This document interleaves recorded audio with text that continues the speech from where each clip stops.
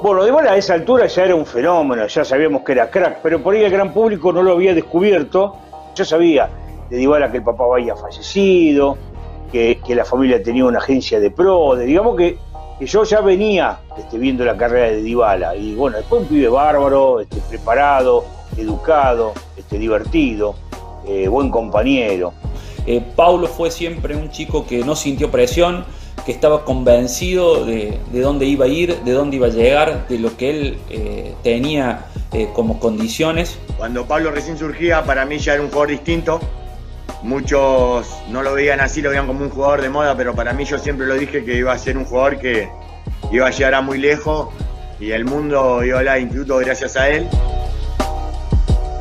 Fue en cancha de Atlanta ese partido, la verdad que no, no se podían acercar hinchas visitantes pudimos entrar, tuvimos el privilegio de poder ver el primer hat-trick de Pablo en el fútbol y el primer partido justo también que fue un familiar de él a verlo, que fue Gustavo, el hermano. Eh, nos mirábamos entre todos y sabíamos que estábamos adelante de algo histórico.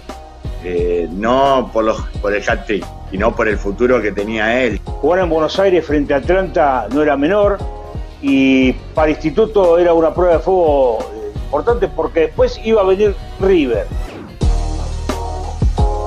eh, bueno, el primer gol, recuerdo que estábamos ahí, recién entrábamos, creo que fue a los 3, 4 minutos.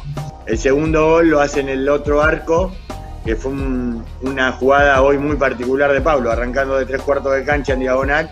Y el cuarto gol fue a los 45 minutos, un centro y como suele hacer hoy, el primer toque fue gol.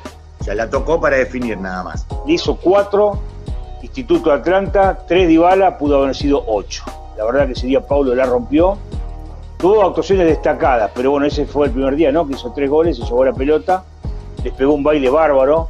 Desde ese momento se transformó en un fenómeno en esa B nacional eh, inolvidable del 2011-2012 y ha llegado hasta donde ha llegado por, porque se tomó siempre las, las cosas con una naturalidad increíble, con una simpleza, por no sentir presión y por poder jugar con esa misma soltura en la cancha de Atlanta que en el Juventus Stadium, ¿no? Creo yo, jugadores que nacen cada 20 o 30 años, bueno, en, esa oportunidad le tocó a Instituto eh, ver el nacimiento de, este jugador que llegó a ser una estrella del fútbol mundial naciendo en la B Nacional.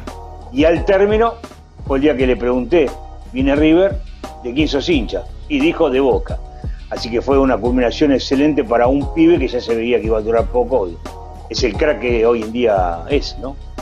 Eh, creo que esa tarde el fútbol de Córdoba eh, entendió que estábamos en presencia de un jugador extraordinario, que Dybala era capaz de hacer cosas fuera de lo común, como llegar a ser tapa del diario Olé jugando en la B Nacional y como hacer ese triplete contra Atlanta con, con apenas 17 años, ¿no? El primer gol señala a alguien una apuesta y en el segundo señala para arriba y después lo señala al hermano que estaba en la popular del frente.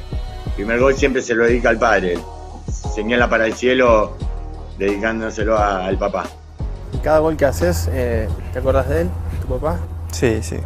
sí. La verdad, porque son los momentos más lindos y los que más quisiera compartir con él, ¿no? Que, que salga de la cancha, salir del vestuario y, poder eh, eh, ver lo que me espere para para ir a comer o para volver a mi casa y charlar del partido y cosas así, pero bueno, eh, no lo tengo, tengo que, ser fuerte, seguir y bueno, por eso cada gol que hago se lo dedico a él.